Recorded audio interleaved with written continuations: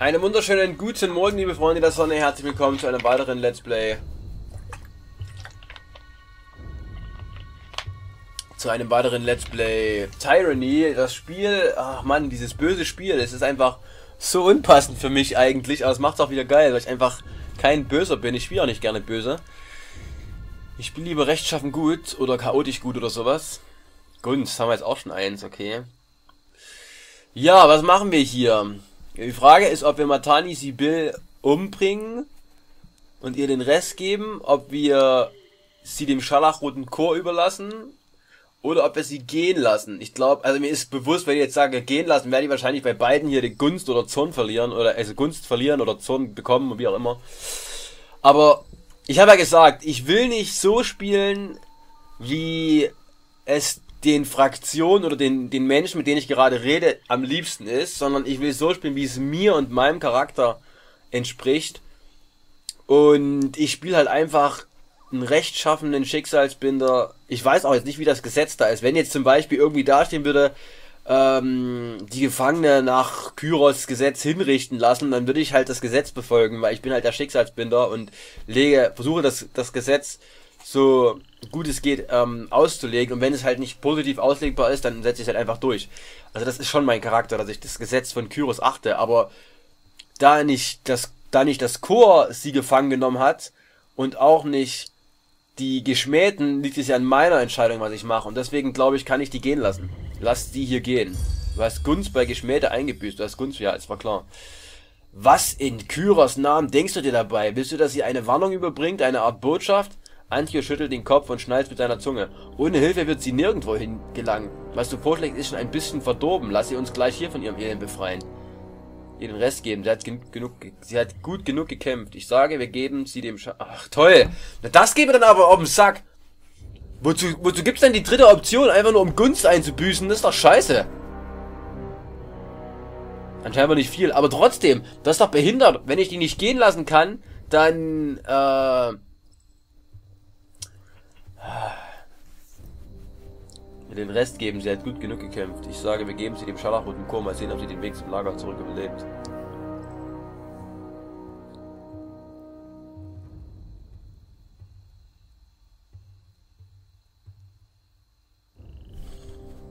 Ich regt es gerade ein bisschen auf, dass die dritte Antwort sinn sinnlos war. Also, das finde ich halt dumm, wenn man eine Antwort einbaut, einfach nur um den Spieler zu schaden und es gar nicht möglich ist, sie jetzt laufen zu lassen.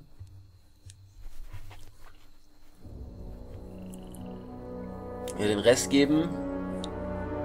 Ich weiß auch wieder, dass wenn ich ihr den Rest gebe, dann freut sich halt die Geschmähten. Wenn ich sage Chor, dann freut sich das Chor. Das ist mir halt egal. Jetzt ist die Frage, was ist das kleinere Übel für mich?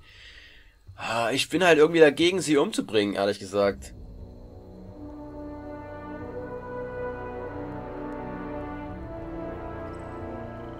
Boah, das ist echt krass, was für eine schwierige Entscheidung. Ich überlege aber halt auch, wenn ich sie laufen, also wenn ich sie dem Chor gebe, dann hat sie vielleicht noch eine Chance zu überleben. Vielleicht sehen wir sie mal wieder. Ich sage, wir geben sie dem scharlachroten Chor, mal sehen, ob sie den Weg zum Lager zurück überlebt. Eine kluge Entscheidung, mein guter Schicksalsbinder. Bitterwitz gibt seine Bande ein Zeichen. Bringt die hier ins Lager und seid zur Abwechslung mal vorsichtig. Wenn ihr Nerat Stimmen eine Leiche bringt, könnt ihr erwarten, ihr Schicksal zu teilen. Sollte sie überleben, bekommt diese Fanatikerin also eine Waffe in die Hand. Wie reizend. Und was geschieht mit diesem Dorf? Es ist zu riskant, das Dorf zu beschlagnahmen, weil die Einheimischen die Häuser vielleicht mit Fallen versehen haben. Er zuckt mit den Schultern und schlägt einen sachlichen Ton an. Wir sollten das Dorf niederbrennen, dass wir ihnen Nachschub abschneiden, ihnen eine Botschaft senden und das Raussignal mit den anderen bei der Überquerung des Matani einen vom Weiten sichtbaren Sammelpunkt anzeigen. Haben wir all das Blut und die ganze Zeit für die Eroberung dieses Dorfes vergeudet, nur um es jetzt abzufackeln? Ich bewundere die mystische Macht des Feuers zwar auf eine Weise, die du niemals verstehen könntest, aber selbst ich finde, dass es für Brandstiftung den richtigen Zeitpunkt und den richtigen Ort gibt. Schicksalsbinder, bitte sag Antio netterweise, dass er die Hälfte des Dorfs niederbrennen darf. Der Scharlachrote Chor würde gerne die, gerne die Hälfte unserer Beute behalten, nicht räuchern. Sollten immer noch Dörfer hier sein, dann lasst sie laufen und macht das Dorf hinterher dem Erdboden gleich. Die Siedlung sollte erhalten bleiben und alle verbliebenen Bewohner zu Sklaven oder Rekruten gemacht werden. Oh, das ist echt der Wahnsinn, was für Entscheidungen ich hier treffen muss. Oh mein Gott, also ich mag das Spiel wirklich sehr, sehr gerne. Und wahrscheinlich ist es auch dieser Twist mit meiner Persönlichkeit, dass ich das Spiel so gerne mag. Aber die Entscheidungen sind so krass. Man kann halt wirklich nicht gut spielen. Also man kann nicht rechtschaffen gut spielen. Man kann halt nur rechtschaffen böse spielen. Das ist alles. Das ist eigentlich mein Stil. Aber ich kann nicht anders. Ich muss es ja machen. Sollten immer noch Dörfer sein, dann lasst die laufen und macht das Dorf hinterher zu dem Erdboden gleich. Die Siedlung sollte erhalten bleiben und alle verbliebenen Bewohner. Hier kann ich auch den Vorschlag von Bitterwitz gar nicht annehmen mit dem halben Dorf. Die Siedlung sollte erhalten bleiben und alle verbliebenen Bewohner zu Sklaven oder Rekruten gemacht werden.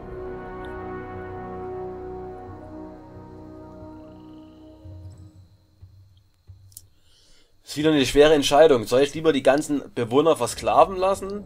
Ich meine, wenn ich die Siedlung erhalten lasse, erhalten, ja, wenn die Siedlung erhalten bleibt, dann sind die Bewohner aber versklavt und Rekruten und Bitterwitz versucht dann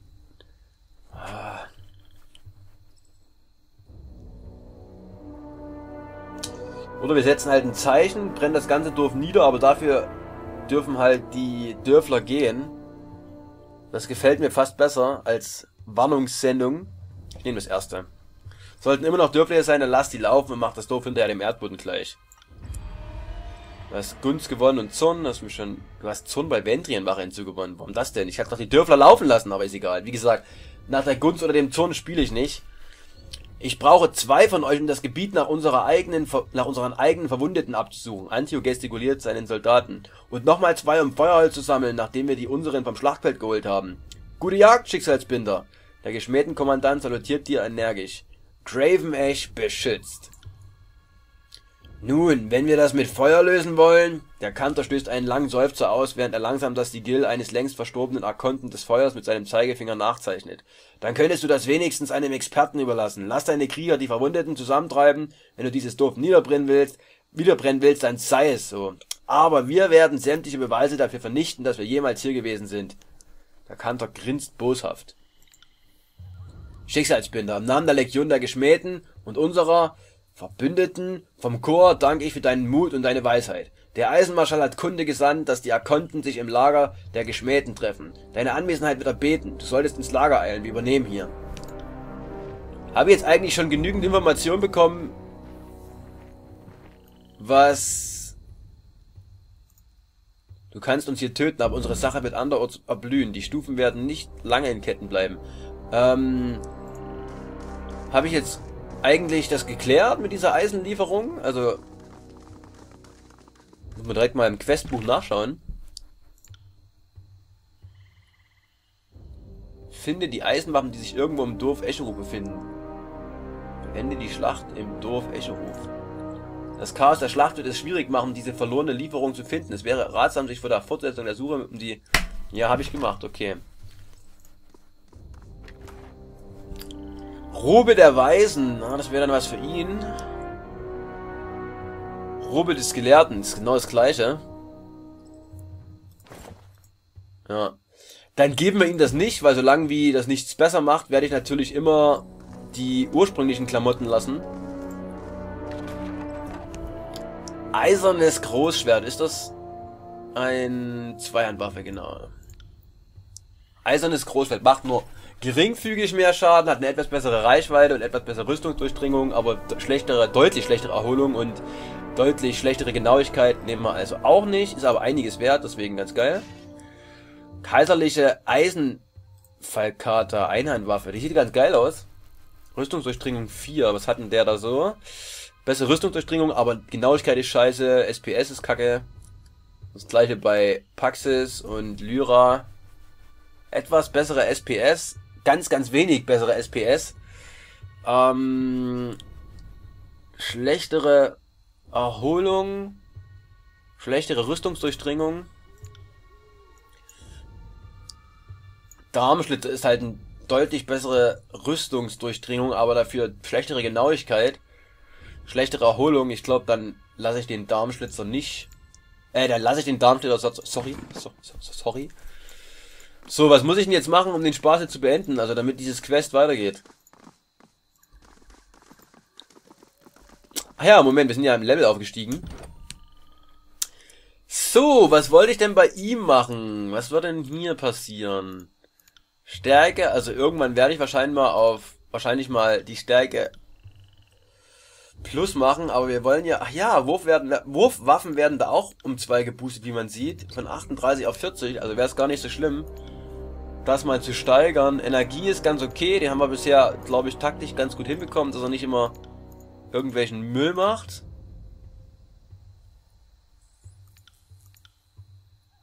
Ich glaube, ich gebe ihm mal eine Stärke, oder? Ich weiß halt nicht, wie sinnvoll das ist.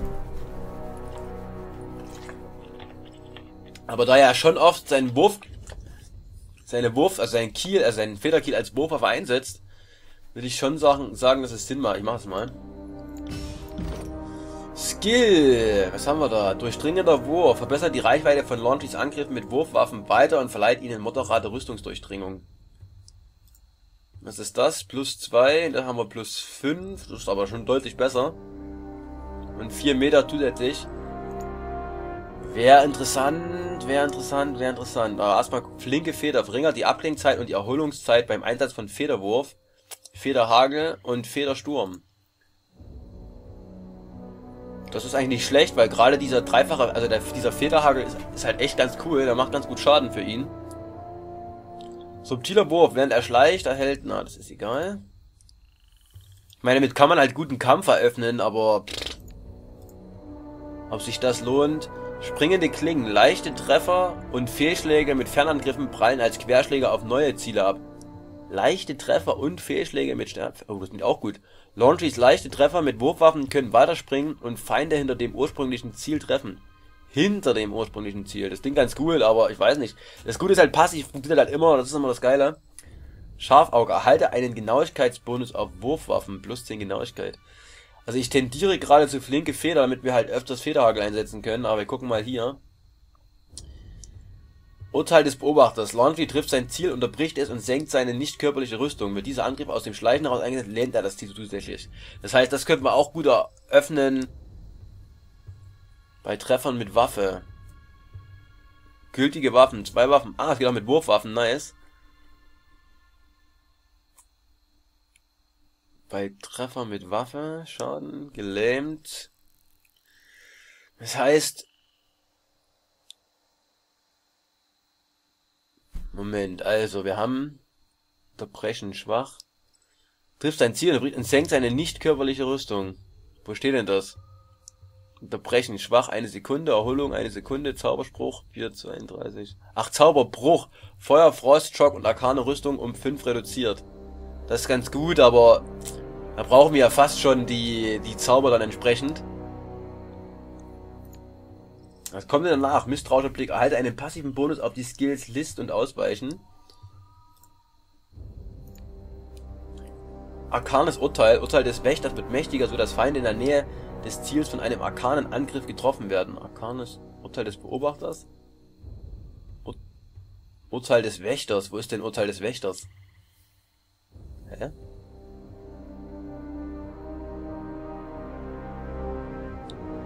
Urteil des Beobachters. Und hier steht, Urteil des Wächters wird mächtiger, so dass Feinde in der Nähe des Ziels von einem arkanen Angriff getroffen werden. Die Ausdauer, der Wille und die Magieverteidigung von Feinden werden reduziert. Modifiziert Urteil des Beobachters. Aber wo ist denn Urteil des Beobachters?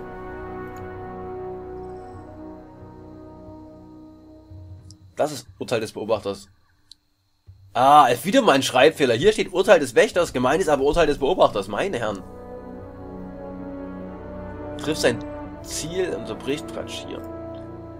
Wird mächtig, dass Feinde in der Nähe des Ziels von einem arkanen Angriff getroffen werden, die Ausdauer, der Wille und Magieverteidigung. Das klingt eigentlich ganz geil, aber da muss man halt zwei Punkte rein reinpumpen.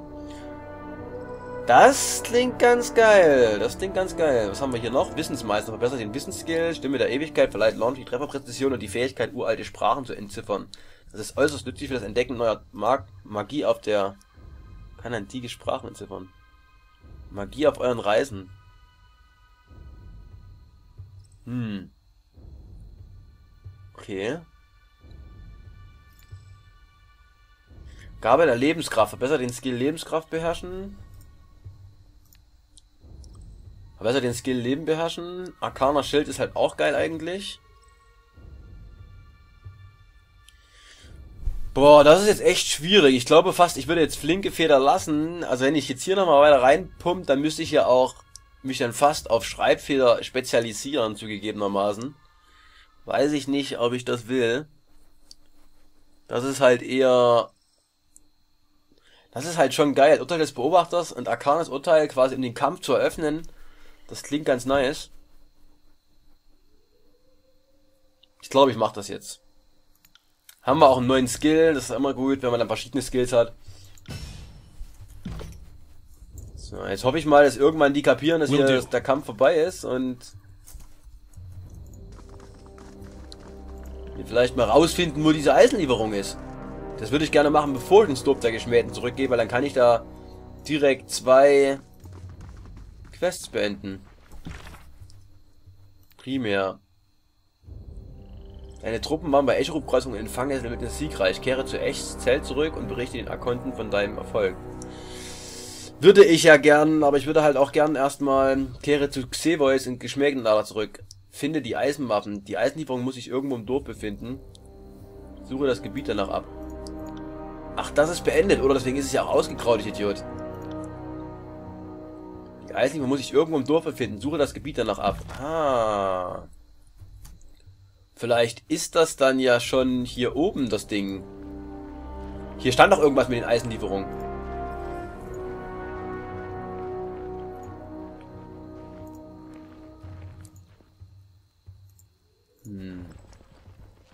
Okay, also hier oben ist auf jeden Fall nichts mehr. Wenn wir jetzt unseren Weg einfach zurückgehen, dann sollten wir das doch finden, würde ich behaupten. Ah. Verschlossene Tür. Tür. Diese robuste Tür wurde verschlossen, scheint aber nicht von der anderen Seite verbarrikadiert zu sein. Schloss knacken. Das Schloss besitzt nur einen einfachen Mechanismus und kann wohl mit mäßigem Aufwand geknackt werden. Das Schloss zerstören. Das Schloss ist alt und instabil und kann mit genügend Kraft zerstört werden. Da ist auf Garantie die Eisenlieferung drin.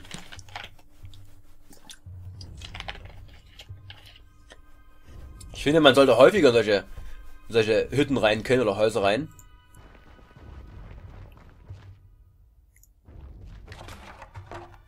Eisengebundene Eisenbahn. Diese Eisenbahn tragen das Siegel der Gilde der Eisengebundenen. Sehr gut.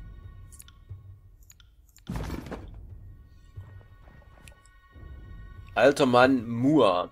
Der alte Mann stößt durch die Tür hinter dir herein. Du mutloser, du mutterloser Kriegstreiber! Er versucht dich mit dem spitzen Ende seines Gehstocks zu verscheuchen. Raus mit dir! In einem dieser Fässer habe ich Eisen der Eisengebundenen gefunden. Du hast einiges zu erklären, alter Mann. Ihn töten. Ich habe Eisen in diesem Fass gefunden und interessiert mich nicht, welche Entschuldigung du dafür hast. Der alte Mann richtet seinen Gehstock auf dein Gesicht.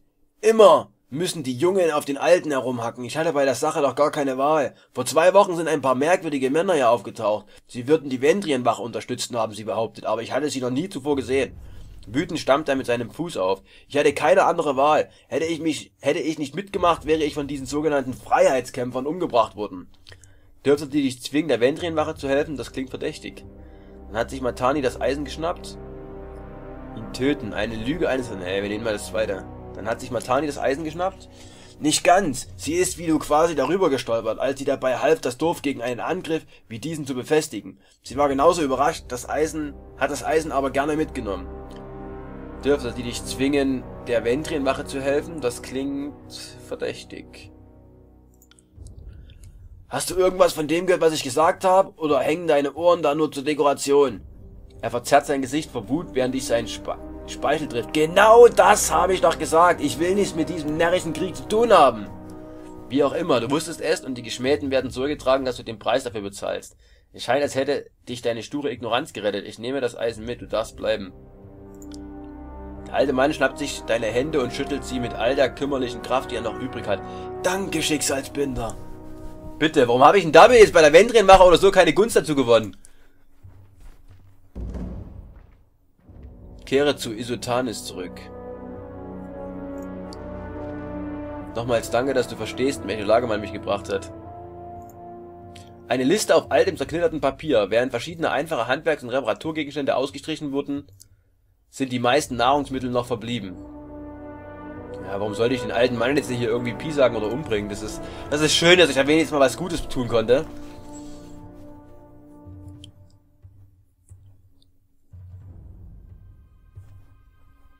Es wäre halt geil, wenn man halt auch irgendwie die Möglichkeit hätte, aber gut, die wollten das halt nicht. Also die wollten halt nicht die Möglichkeit geben, dass man jetzt hier auch übermäßig Gutes tun kann oder im, im, im schlimmsten Fall ja noch. Ach fuck, Pax ist ja verwundet.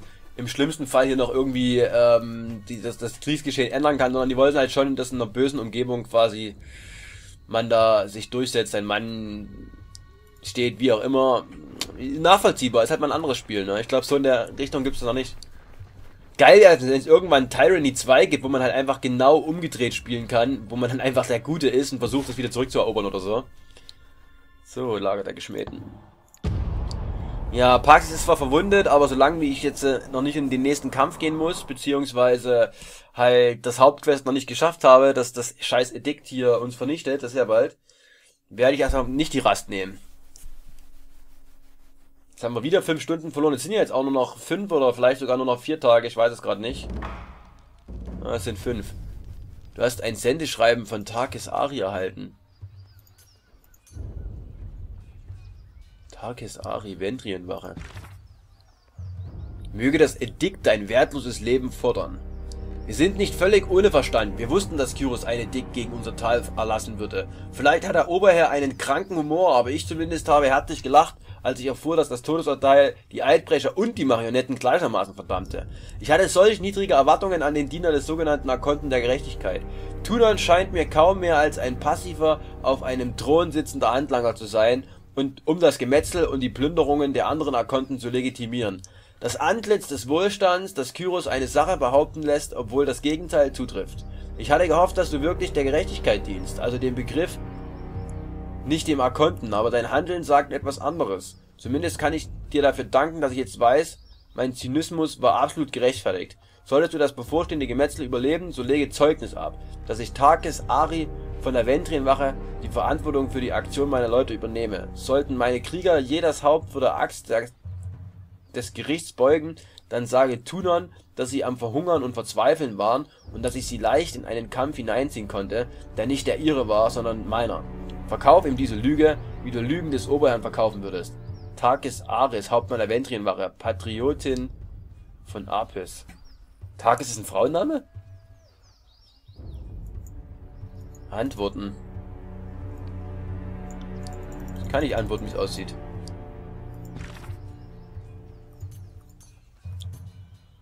Hm. Verstehe ich nicht so richtig. Was habe ich denn gemacht? Liegt es daran, weil meine Gunst unter 1 ist, oder was? Und die, der Zorn halt so hoch? Wahrscheinlich deswegen, oder? Wahrscheinlich hätte ich so spielen müssen, dass der Zorn halt nicht so hoch ist und die Gunst höher, aber ich habe ganz normal gespielt. Ich war wahrscheinlich sogar eher gut als böse. Ich kann nichts dafür, dass mich das Spiel immer wieder ausgetrickst hat. In diesem Sinne, was soll's? Also, meiner Meinung nach habe ich alles nach bestem Wissen und Gewissen gemacht. In diesem Sinne, der Konten im Kriegsheld. Liken, kommentieren, abonnieren, wenn es euch gefallen hat. Ansonsten Daumen nach oben, damit wir euch loben. Euer Paxis, bis zum nächsten Mal. Tschüss. tschüss.